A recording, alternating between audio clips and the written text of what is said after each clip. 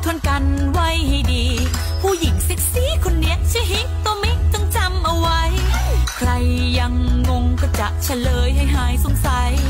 ว่าทำไมทำไมเขาจึงเรียกฉันว่าฮิโตมิ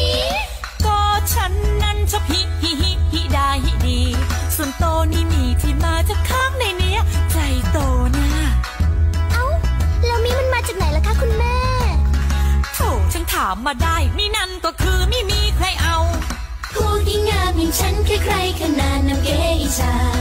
ที่เกิดมาเพื่อศิลปะการรับใช้ฮิโตมิคนนี้สำคัญที่สุดเหนือผู้ใด ก็คือแม่คอยช่วยด